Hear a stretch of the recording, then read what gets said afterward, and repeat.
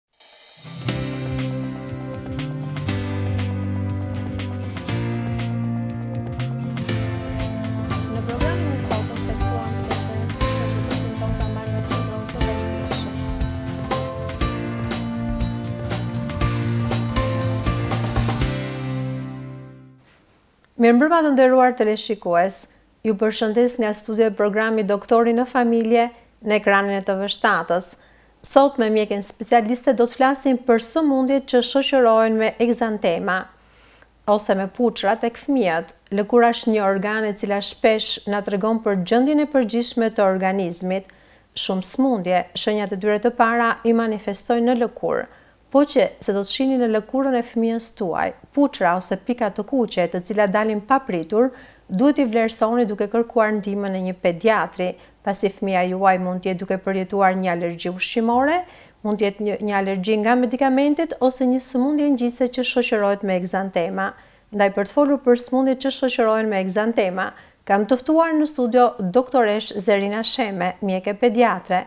Doktoreshë Zerina ka qenë në shërbim të shëndetit të fëmijëve për tridhjetë e tetë vjet, duke punuar me shumë përkushtim dhe dashuri. Sot është mjaft aktive në shumë aktivitete shkencore mjekësore. Doktoreshë Zerina, mirë se vini sërish në studion tonë. Mirë se ju gjeta. Sot së bashku do të flasim për sëmundjet që shoqërohen me ekzantema. Çfarë janë egzantema dhe si klasifikohen ato? Egzantemat janë shpërthime në lëkurë, në formë pikash, që mund të jenë rrafsh me lëkurën, makula, por edhe papula, lehtësisht të ngritura mbi lëkurë.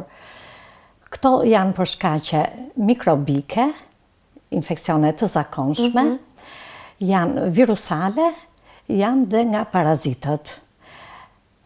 për natyrën tjetër të klasifikimit që mund të jenë alergjitë, është janë më të rralla, ndërsa sëmundjet infektive që janë të zakonshme në shërbimin ambulator, pediatrik, kërkojnë më tepër vëmendje për të vlerësuar temperaturën dhe simptomat e tjera. Cilat janë sëmundjet më të shpeshta që shoqërohen me egzantema? Sëmundja kryesore që përbën problem për komplikacionet e saj është skarlatina. Mhm. Është një infeksion bakterial. Skarlatina... Çfarë, mund të na thoni, çfarë është skarlatina dhe nga se shkaktohet, cilët janë shkaktarët e skarlatinës? Skarlatina shkaktohet nga streptokoku beta hemolitik. Mhm. Është një kategori mikrobesh bakteriale që inokulo vendosen në fyt, në faring, duke dhënë një skuqje dhe më tej toksinat e këtij Mikrobit çlirohen në gjak, duke zgjeruar kapilarët dhe japin një skuqje në të gjithë lëkurën. Shpesh kjo i shqetëson nënat dhe pa dashur shkojnë tek doktori i lëkurës ose shkojnë drejt në farmaci për të marrë një mjekim antialergjik. Cilat janë shenjat klinike? Çfarë pra kur vjen një nën, normalisht ajo do flasi për fëmijën, çfarë referon dhe çfarë shikoni ju nga ekzaminimi objektiv që i bëni fëmijës? Shenja e parë është temperatura, mm -hmm. mund të jetë deri në 38, por edhe më e lartë. Kjo temperaturë fillon papritur kjo temperaturë? Ë ka ato shenja prodromale 2-3 mm -hmm. ditë. me një këputje dhimbje fyti të fëmijës dhe po qe fëmija nuk është në gjendje t'i referojë nënës këtë problem po për të vënë diagnozën na ndihmon anamneza mhm. ndihmon dhe grupmosha. Mhm. Skarlatina prek fëmijët nga 5 deri në 15 vjeç. Ndërsa nuk mund ta gjejmë në një fëmijë 6 muajsh apo në një të rritur mhm. një ekzantemë të tillë. Pra mosha qenka e rëndësishme për po, diagnozën? Situata epidemiologjike dhe sezonaliteti. Mhm. E gjejmë në stinën e ftohtë, po kryesisht në pranverë dhe vjeshtë, Që shoqërohet dhe me lagështirë. Kemi disa foto për sa i përket skarlatinës. Cilën po. pjesë prek të trupit prek skarlatina? Ajo çfarë është më e dukshme është ekzantema, mhm. pikat në lëkurë. Ditën e parë zakonisht ekzantema shfaqet në ditën e dytë të tretë të temperaturës. Mhm. Që fillimisht mund të ngatërrohet me një katar stinor. Po. Megjithatë... Pas ditës të tretë fillojnë të të shfaqen këto pikat e kuqe në lëkurë. Po, fillimisht janë në lëkurën e fytyrës, mhm. lehtësisht në qafë. Mhm. Ka një shenjë karakteristike aty që mhm. trekëndëshi... Na i kaloni fotot? Trekëndëshi nazolabial nuk preket dhe ka një zbehje në ah. rreth buzë. Karakteristike, domethënë rreth buzëve nuk kemi puçrra. Po, Shenjë tjetër është përhapja në ditën e nesërme në trung, në anësi, Mhm. dhe është në formë miliariforme, mbushet i gjithë trupi sikur është djegur nga dielli, mhm. ka maja të lehta dhe kur e prek mjeku mhm. pediatër, kur kalon dorën, duket si kadife. është shenjë karakteristike kjo për skarlatinën, për të Do të themi më poshtë për ta dalluar nga Edhe një foto tjetër se dhe ajo ishte shumë karakteristike. Po. Prek skarlatina prek dhe mukozat. Mhm. Në gjuhë jep një skuqje dhe ngritje të papilave që ngjan gjuha ngjan si manaferrë. Mhm. Tamam si manaferrë duket. Si e vendosni ju diagnozën? Thjesht në bazë të një ekzaminimi objektiv dhe shenjave që referon prindi, vetëm në bazë të shenjave klinike. Dhe grup moshës, siç thamë, po, ka po. disa kritere, situata epidemiologjike, megjithëqë skarlatinë ka patur gjithmonë, nuk është se ka shpërthime epidemike, Por këto shenja mjaftojnë për të vënë diagnozën. Më pas bëhet titri i antikorpeve, mhm. ASO-t, antistreptolizinat, mhm. dhe duhet 2-3 javë që të kjo analizë të dalë saktë, se po ta marrim më shpejt se 3 javë, ajo del falso. Falso. Ekzaminimi i përgjithshëm, urina, ka një leukocitozë të lehtë dhe analiza e urinës. Vlen të theksohet tek urina që duhet bërë tre javë mbas shfaqjes së shenjave të skarlatinës, sepse Ky kompleksi antigjen antikorp vendoset në veshka duke dhënë një nefrit i mhm. cili do kohën e vet që të aktivizohet. Për sa kohë kalon skarlatina si sëmundje? 7 ditë, mhm. shenjat zhduken, duke lënë pas një deskuamim, mhm. lëkura bëhet si e ashpër. Një rënie të lëkurës, po, po bëhet e ashpër. Po, sikur na po. lë djegia nga dielli. Gjendja është e mirë, mjekimi është Patjetër me antibiotik, nëse mjeku dyshon që është skarlatinë, duhet të përdorë antibiotik. Në krahasim me virozat e tjera, që nuk rekomandohen antibiotikët, këtu do bënim gabim shkencor, në qoftë se nuk do fillonim grupin e penicilinave, amoksicilinave, që është njëqind për qind i efektshëm në mjekimin e këtij mikrobi. Çfarë janë ekzantemat virusale dhe cila është sëmundja infektive më e shpeshtë që shoqërohet me këtë ekzantemë? Ekzantemat virusale shkaktohen nga çlirimi i toksinave të viruseve mm -hmm. në kapilarët e nënlëkurës, duke zgjeruar enët e gjakut dhe duke dhënë një kuadër me një skuqje me ato që thamë papula, Dhe makula kryesisht. Pra këtu kemi edhe të ngritura, edhe pjesë të rafshta, por në faza të ndryshme siç dalin po. këto puçrat. Edhe këtu kemi një foto. Po, po, kjo është një rozeolë infantile. Mhm. Siç thamë, kriter për vendosjen e diagnozës është edhe mosha, edhe sezonaliteti. Rozeola është një virus shumë i përhapur, prek fëmijët nga 6 muaj deri në 2 vjet mhm. dhe mund të ngatërrohet shpesh me një reaksion alergjik. Nënat dhe këtu fillon këto shenjat klinike fillojnë papritur shfaqja ka një temperaturë të lehtë 2-3 ditë më përpara daljes së po. puçrave po, gjithmonë. Një skuqje e fytit të mhm. faringut Dhe grindje mund të ketë ose jo diarre, mhm. një dy herë, këto janë shenjat e përgjithshme të një katari të një viroze. Se dhe fëmija qenka shumë i vogël në këtë moshë për... Gjashtë muaj, Po. Për të diagnostikuar qenka dhe më e vështirë.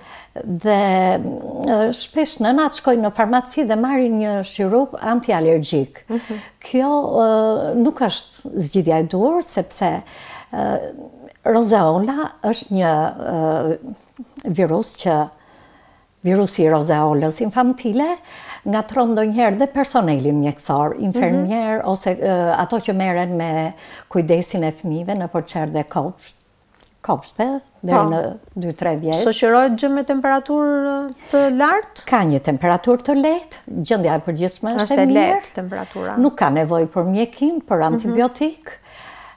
Karakteristikë e këtyre rozeolave janë dalin në fytyrë, në qafë dhe më pak në trung. Mhm. Ju thatë që duhet bërë një diagnozë diferenciale se po është e ngjashme me shumë sëmundje të tjera. Po. Me kë e bëni ju diagnozën diferenciale? E para fruthi është nga viruset që prek që është një infeksion virusal që mhm. prek të gjitha grupmoshat, edhe 6 muaj, po dhe në moshat e rritura, në qoftë se nuk e kanë kaluar, ose në qoftë se janë vaksinuar. Mhm. Në fakt, për fruthin të ndihmon... Ka dalë një foto këtu? Po, të ndihmon epidemiologjia, mhm. kur në përgjithësi nëpër lajme jepet, dhe mhm. kuadri klinik, është më i Pra është në formën e një epidemie fruthi, do me po. thënë i ka kapur fëmijët në masë, jo si rozeola që jo si rozeola që është sporadike. Sporadike. Mhm. Fruthi ka një kuadër klinik më të ashpër, mhm. në qoftë se nuk është vaksinuar, siç duket aty në fytyrë, po. prek edhe konjuktivën. Si prush i kuq.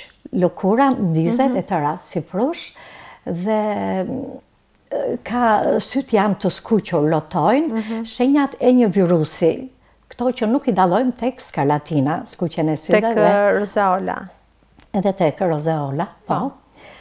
Eh, pastaj, ditën e nesërme, eh, kjo skuqje përhapet në trung, dhe pastaj në anësi. Mhm. Ka një gjë të veçantë po, në po. infeksionet virusale, që nuk prekin shputat e këmbëve, mhm. ndërsa infeksionet bakteriale, e theksoj bakteriale sepse kërkojnë antibiotik, preken edhe shputat e këmbëve ose pjesa palmare e duarve. Mhm, mhm, Tjetër diagnozë diferenciale përveç fruthit e bëjmë me varicella, për shembull si e dalloni nga varicella? Varicella, edhe kjo. Ose lia e dhenve siç njihet në gjuhën e popullit? Ka temperaturë. Kemi një foto dhe për këtë? ka temperaturë, po. dhe në ditën e tretë fillojnë dhe shfaqen pika të kuqe. Mhm. Të nesërmen ato mbushen me flluska me ujë. Po, kjo është që e dallon mirë. Mhm. Po, flluskat me ujë dhe përhapen në të gjithë trupin, por dalin edhe në gojë. Mhm. Enantemat, Janë flluska me ujë që dalin në fyt, në mukozat e gingivave. Dhe pastaj këto çahen edhe kthehen në krustë, do po. kthehen kështu në kore, që fëmijët po. zakonisht i heqin dhe ju i porosisni gjithmonë nënat kujdes me fytyrën sepse mund të ngelen shenja në qoftë se fëmija do t'i heqë këto krustë. Në qoftë se do t'i ngacmojë, mhm. infektohet me anë të thonjve dhe po. Mund edhe të komplikohet të japi infeksione sekondare. Në rastin e rozeolës ju thatë që është një temperaturë e lehtë, pak a shumë dhe gjendja e përgjithshme e mirë. Në rastin e fruthit është një temperaturë shumë e lartë, gjendja e komprometuar. Toksike, po. Shumë. Në rastin e lisë, si është temperatura dhe gjendja e përgjithshme e pacientit të vogël? Po. Për fëmijët e kam shumë të vështirë t'i quaj pacientë. Në fazën e parë gjendja është e mirë, kalon me disa puçra mhm. dhe këto për 4-5 ditë zënë kore dhe bien. Maksimumi zgjat deri në 10 ditë.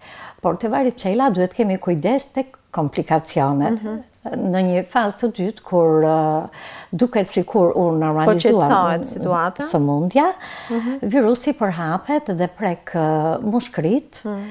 duke dhënë pneumoni atipike, virusale, që janë të vështira për t'u mjekuar, në të tilla raste ndërhyet me mjekime, aciklovir, ose siç e gjykon mjeku që do ta ndjeki, mhm. por mund të preki dhe cipat e trurit, meningite dhe në vartësi, shenjat variojnë në vartësi të organit që preket. Po me rubeolën, si e bëni diagnozën diferenciale? Kemi dhe këtu një foto të rubeolës. Rubeola është e ngjashme me fruthin, por mhm. i ka shenjat më të lehta. Se fruthi. Egzantema është e kuqe në roz, nuk është aq vishnje sa te fruthi. Mhm. Ka të veçantë një adenopati, një gjëndër limfatike rreth po. qafës. Dhe kjo është shenjë që vlerëson. Që një mjek infeksionist, domethënë... Duhet ta... I shkon mendja menjëherë. Menjëherë, po... Edhe rubeola bie në formën epidemie, domethënë, kemi dëgjuar që ka rënë rubeola gjithandej si dhe fruthi. Po, shkaktarë janë fëmijët e pavaksinuar. Mhm.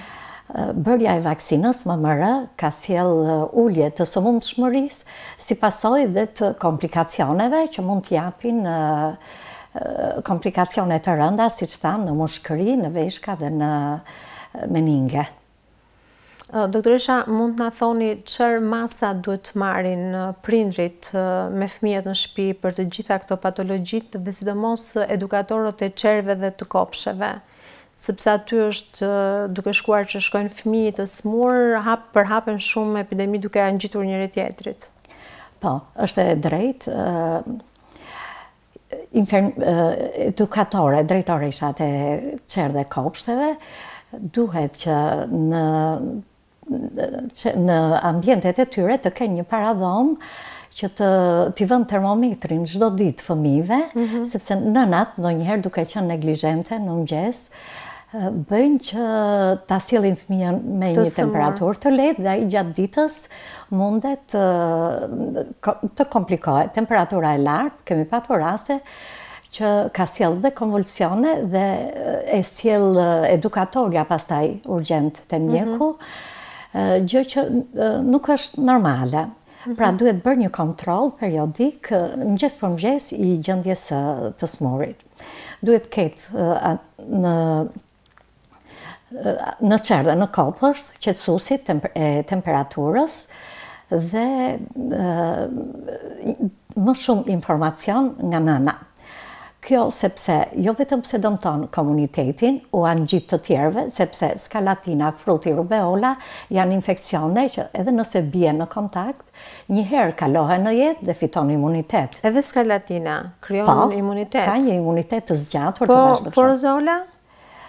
Rozeola ka disa variante, disa tipa, është mhm. nuk është problematike. Dhe këto shqetësime i kalon nëna në shtëpi, mhm. thjesht për ta patur këtë informacion. për ta dalluar nga gjendjet që janë më toksike, që mund të vijnë nga ilaçet. Mhm.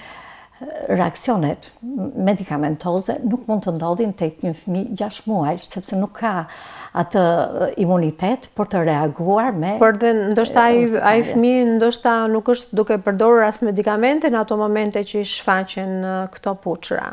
Po. Për sa i përket reaksioneve alergjike, po dal paksa nga tema, nga dallohen këto puçrat që janë ekzantema të sëmundjeve infektive ose sëmundjeve ngjitëse dhe kur kemi të bëjmë me një alergji ushqimore, nga dallohen këto puçra? Shumë e drejtë, shpesh nënat ngatërrohen,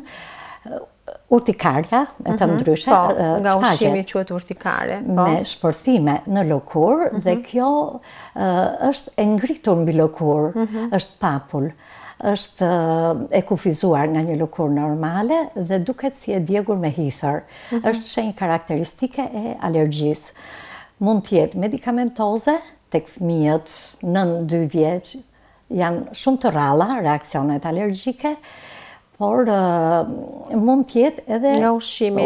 Veza thonë zakonisht m'i bëri reaksion fëmijës veza. Po, reaksione mhm. të tilla janë të rralla. Megjithatë diagnostikohen me konsulta të alergologut dhe me prova të intolerancës ushqimore. Në rastet, më fal, në rastet e alergjive nga ushqimet, këto urtikarie dalin menjëherë mbas ngrënies së ushqimit? Jo, mund të shfaqet një dy ditë. Një dy ditë, mbas ngrënies së ushqimit.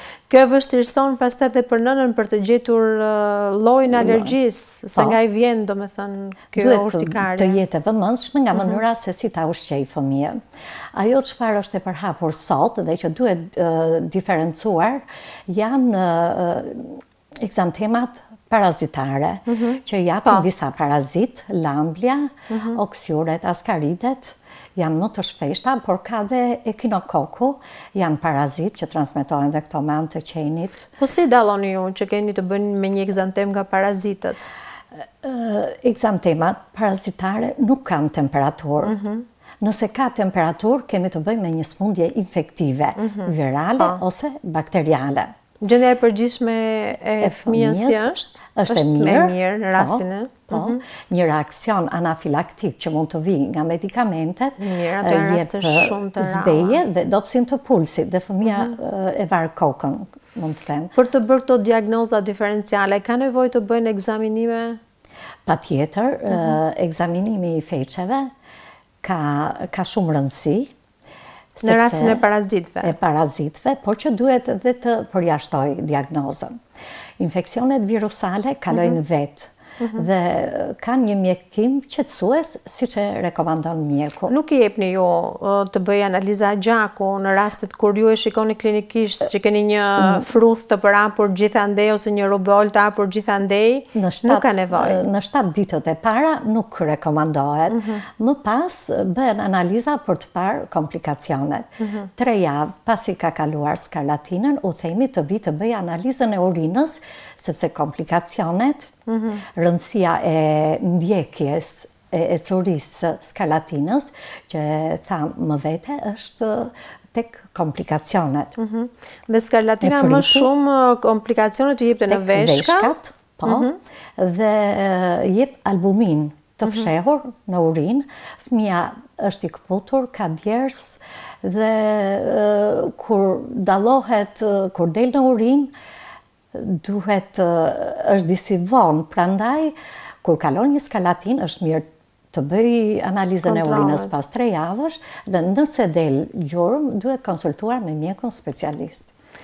Në çfarë këshilla do të jepnit ju prindërve, nënave, në rastet kur fëmijët e tyre janë duke kaluar një sëmundje infektive që shoqërohet me ekzantema, çfarë kujdesi duhet të kenë ato për fëmijën e tyre?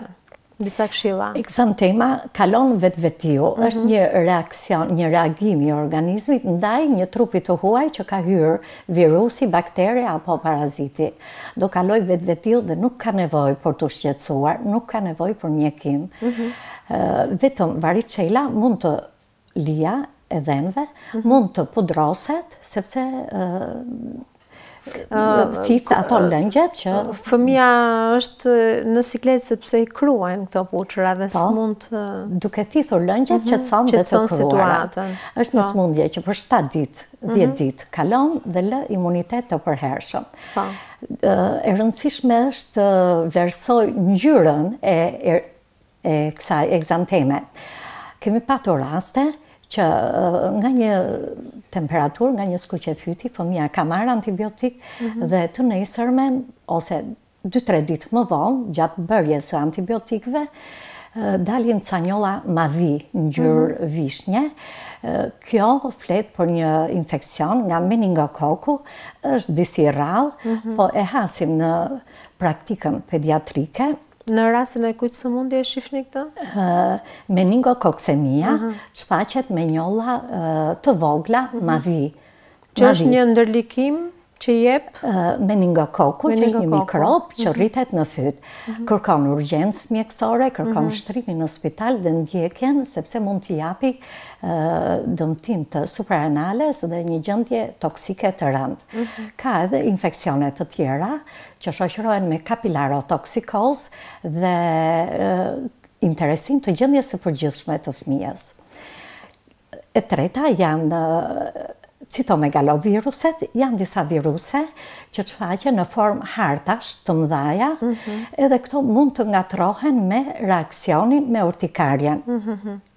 Siç e thamë, urtikarja është e ngritur mbi lëkurë, po ta prekësh me dorë, ka një... është si flluskë. Pa, papulë e ngritur, ndërsa viruset, lëkura në infeksionet virusale, lëkura është rrafsh. Këto, citomegaloviruset, siç thamë, japin Eritema, skuqje të mëdha në formë hartash që kanë tendencë të bashkohen dhe kur i shikon nëna alarmohet. Në fakt, mjekimi është simptomatik ose kur e gjykon mjeku, një shurup antiviral. Pra do bëjë ciklin e vet, ciklin e vet sëmundja derisa të shërohet. Si do të jetë ushqimi që duhet të përdorin nënat në këtë fazë tek fëmijët e tyre? Dhënia e lëngjeve të frutave të freskëta ndihmon dehidrimin, sepse siç thamë janë smundje infektive, shoqërohen me temperaturë dhe humbet lëngje. Dhe tjetra, higjiena, higjiena vetjake. Shikojmë fëmijët duhen edukuar që në kopësht, po edhe në familje që të presin thonjtë. Shikoj një fenomen, ndoshta më mhm. lejoni ta them, një fenomen të pazakontë që nënat e reja që ndërrojnë panolinat e fmive, i kanë thonjtë shumë të rritur, po. thoi është burim infeksioni mhm. për mikrobe, për parazitë, baktere e të tjerë. Dhe për një periudhë kohe të shkurtër, duhet t'i sakrifikojnë ato? Patjetër, Për shëndetin e fëmijës dhe po. për shëndetin e tyre. Kjo vlen dhe për edukatoret e mhm. çerdheve te kopshtet dhe personeli që punon me fëmijë nëpër spitale ose ambulanca. Po, keni shumë të drejtë. Doktor Zerina, ju falenderoj për kohën, informacionin dhe këshillat që ndatë sot me ne. Ishte kënaqësi për mua. Faleminderit. Kënaqësi që ishim së bashku. Për gjithë ju që jeni të interesuar me doktor Zerinën mund të komunikoni në adresën e saj në YouTube Zerina Sheme, Këshilla për fëmijët. Të nderuar teleshikues, arritëm në fund të programit tonë për sot. Shpresoj t'u kemi ardhur në ndihmë me informacionin e dhënë. Bashkë do të takohemi çdo të martë dhe të enjte në orën njëzet. Deri atëherë mirupafshim.